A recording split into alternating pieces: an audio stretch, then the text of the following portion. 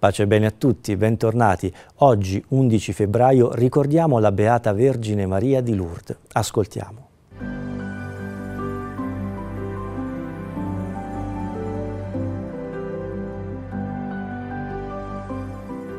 In una grotta lungo il fiume Gave, vicino alla rupe di Massabielle, la Vergine apparve per ben 18 volte a Bernadette Soubirous, una ragazza di 14 anni, gentile, cagionevole e appartenente ad una povera famiglia che abitava in un luogo umido e inospitale.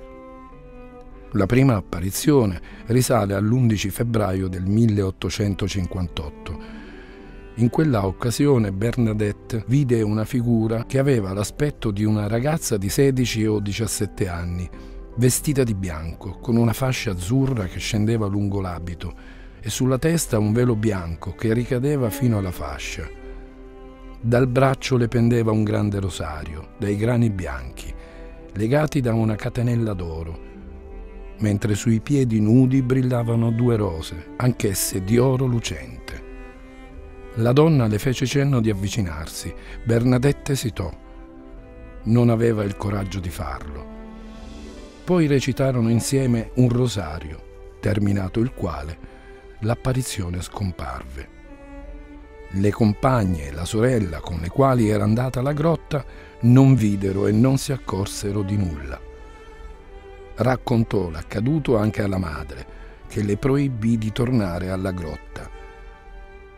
Intanto la voce si spargeva e il 14 febbraio le ragazze della sua età convinsero la madre di Bernadette di darle il permesso per far ritorno alla grotta. Bernadette conservava un po' di timore. Quindi andò in chiesa a prendere dell'acqua benedetta per aspergere la grotta, per paura che quelle visioni non fossero divine. Alla nuova apparizione Bernadette estrasse la corona e recitarono insieme il rosario. Poi nell'apparizione del 18 febbraio la signora chiese a Bernadette di tornare alla grotta per 15 giorni consecutivi e di dire ai sacerdoti di costruire una chiesa sul luogo delle apparizioni. Bernadette fece esattamente ciò che le era stato chiesto.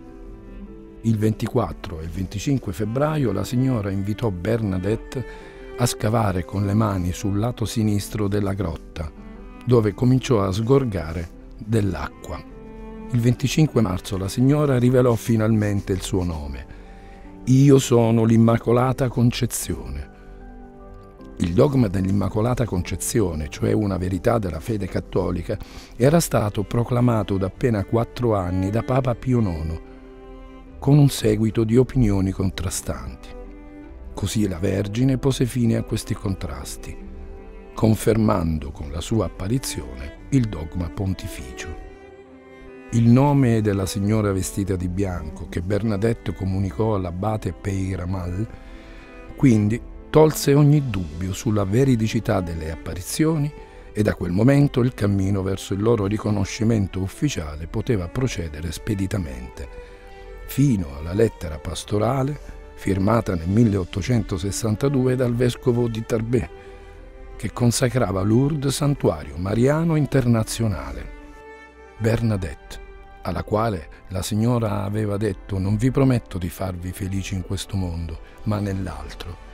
Morirà il 16 aprile del 1878, all'età di 33 anni.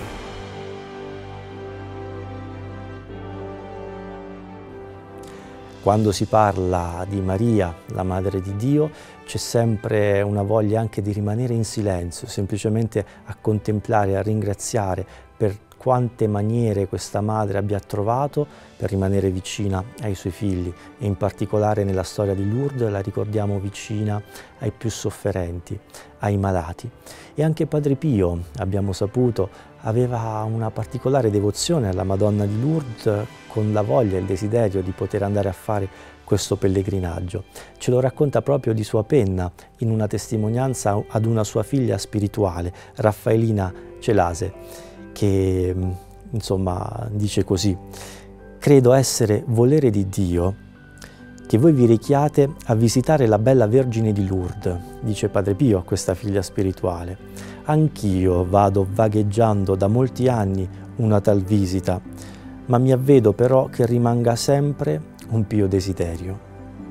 Non fatevi sfuggire questa bellissima occasione che il cielo vi offre. Andate, sì, ve ne prego, a visitare la Bianca Signora e pregatela per tutti i bisogni della Santa Chiesa e di modo speciale pregate per la povera anima mia.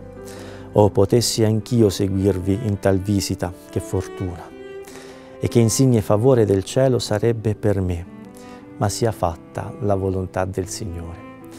Allora, bella la benedizione di San Pio eh, per questo pellegrinaggio. E magari perché non approfittiamo anche noi di organizzare un piccolo pellegrinaggio proprio verso questa meta, verso Lourdes, proprio per pregare ovviamente anche per noi, ma anche per i bisogni della Santa Chiesa. Vedete che sensibilità aveva Padre Pio, spesso quando noi facciamo pellegrinaggi andiamo e portiamo solo la zavorra dei nostri guai, dai quali chiediamo di essere liberati, ma alla Chiesa, devo dire la verità, non credo che in molti pensino. E se poi, ecco, come Padre Pio non avremmo la possibilità di fare questo viaggio, ecco, possiamo farlo nel nostro cuore. Affidiamoci all'intercessione della Beata Maria di Lourdes che non mancherà di raggiungerci lei se noi ne siamo impossibilitati.